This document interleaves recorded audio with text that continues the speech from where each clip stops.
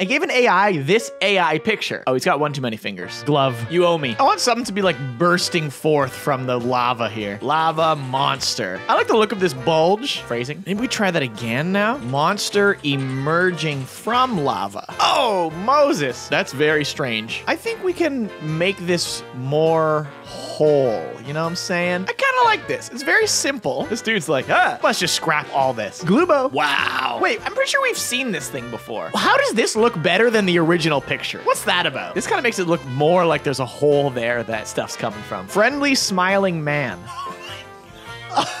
Oh God! This is a great. Look at this. It, it?